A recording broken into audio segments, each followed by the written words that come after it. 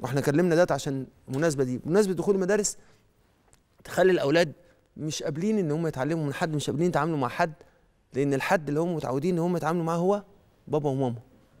وده بيخلي إن لو الواحد من الوالدين انتقل وتوفي ربنا يمد في الأعمار مع حسن العمل. ممكن الابن أو البنت ينهاروا ويصابوا باكتئاب شديد وساعات بتتحول حياتهم وساعات بيحصل لهم اضطرابات نفسية. ويقعدوا فترة طويلة جدا جدا جدا إذا ما حصلت لهم حالة نفسية يحاولوا يتعافوا ويقفوا على رجليهم.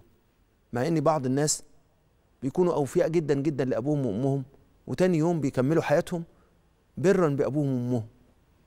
الشكل التاني بقى من الحبل السري ده هو التعلق الشديد اللي بيظهر في ممارسة السيطرة على الأولاد. فبيكونوا متعلقين بينا بشدة فيضطروا يسيطروا عليهم. ابني بتاعي ده وعشان كده يسيطروا عليهم عشان يكونوا جنبهم بالطريقة اللي يحسسهم بالأمان.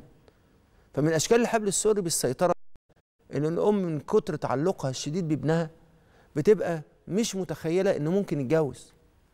أنا أعرف ستات كتيرة بتخلي جواه آه زوجات ابنها تغير منها بشدة تعلقها مع ابنها بتعرفها كل حاجة حتى في بعض الأحيان بيوصل بيها شدة التعلق إن هي تخاف على ابنها من العلاقة الخاصة مع زوجته.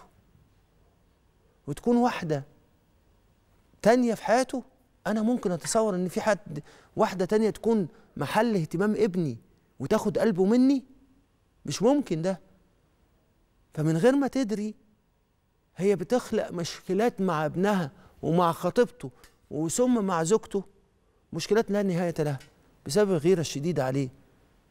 وتضطر تعمل إيه؟ تفرض رأيها وتسيطر وتبقى كلمتها الكلمة هي كلمتها.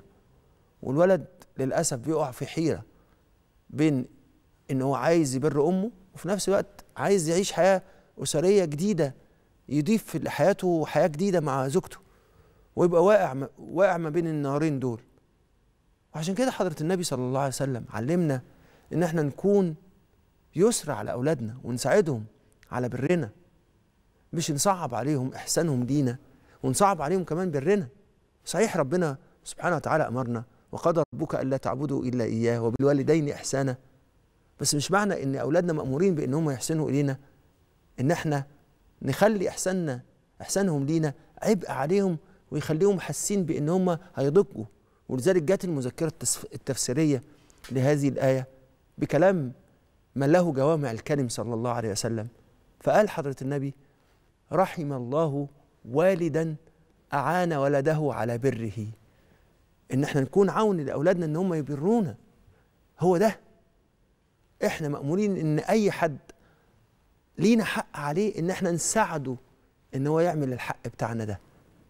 وعشان كده شكل التعلق الشديد من خلال السيطرة بيخلي الأوقات في أول الأولاد في أوقات كتيرة لما يكبروا يمارسوا هم كمان السيطرة على أه... على أهاليهم. يسيطروا يعملوا إيه؟ يمارسوا السيطرة على الأب والأم. فلما الأب والأم يكبروا إيه اللي حاصل؟ ياخدوا قرار شخصي والأولاد يحسوا إن القرار ده مش على هواهم. فاكرين بقى لما الأولاد بيكبروا؟ ما إحنا علمناهم اللي يحب حد يسيطر عليه. كذلك هم بقى الأب والأم لما يكبروا ويخ... ويعملوا حاجة مش على هوا الأولاد الأولاد يبتدوا يقولوا لهم إيه؟ ما ينفعش الكلام ده. إحنا مش. مش موافقين على ده مع ان دوت مش. مش من حقهم بس إحنا اللي علمناهم إن بيحب حد يسيطر عليه ويأثر على اهتماماتهم بينا ويحاولوا بكل الطرق يمنعونا يمنعونا من اللي إحنا عايزينه ده ما إحنا اللي علمناهم ده وساعات بينتقموا مننا يهملونا يهملونا ليه؟ لأنه حسوا إن السيطرة علينا دي هي اللي خلتنا مش قادرين نعيش فإيه اللي حاصل؟ فأنا هنعاقبكم على إن كنتوا خليتينا خليتونا عندنا عشاشة قلب وهشاشه شخصية وهشاشه عظام قلبية. ولذلك إيه اللي هيحصل؟ هنبعدكم عننا ويبقى في جفوة.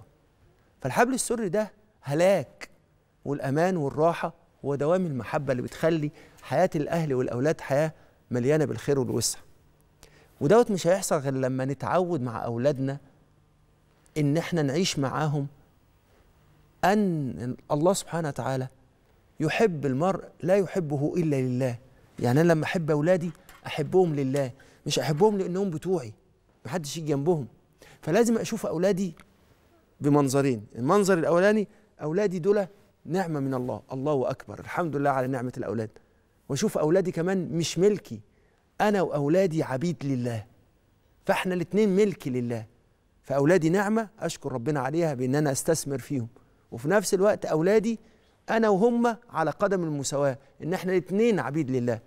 وإن الأولاد يشوفوا أهلهم تجلي ود الله فساعات ما أنا أشوف أولادي نعمة أولادي هيشوفوني كمان نعمة. نعمة يعني إيه؟ ربنا بيتودد الي إن أنا ربنا جعل لي أب وأم مش جعل لي ملاك يتصرفوا فيا زي ما هم عايزين.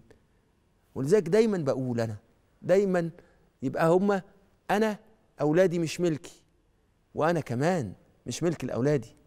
فلذلك دايما بقول ما تجعلش حبيبك كل حياتك. آه ده الذكاء. أنت عايز تبقى فعلا متزن جدا جدا في إنك أنت تشكر نعمة ربنا وتبقى عبد لله؟ لا أولادك مش كل حياتك وباباك ومامتك مش كل حياتك. يعني إيه؟